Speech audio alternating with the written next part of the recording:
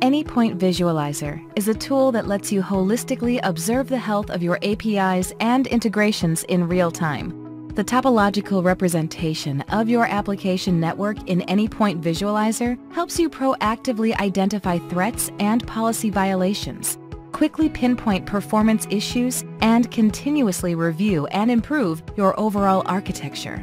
Anypoint Visualizer is included in all subscriptions and enabled by default. It learns from the application network metadata and auto-generates three different dynamic views based on the use case. First is the architecture view. Using this view, you can represent your system topology and save it into different views. The left sidebar allows you to select which services to include or exclude. To continuously improve the system architecture, the views can easily be exported and shared as images for review or for sharing best practices. For API-led architectures, you can create your layers and group different services into the desired layer. The second is the troubleshooting view.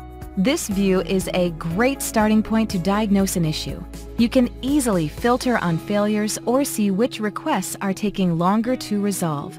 Looking at the dependencies, you can also understand the upstream and downstream impacts of failures. If you select a node, you can view some metrics and can directly switch to Anypoint monitoring to dig further.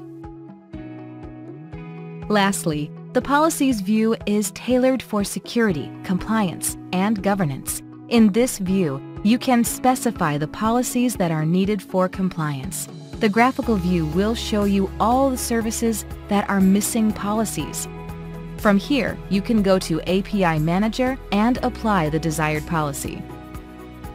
As we saw, Anypoint Visualizer helps IT teams gain invaluable insights about their applications and their dependencies. This drastically reduces the time to diagnose issues, identify threats, and align your architecture with your business goals.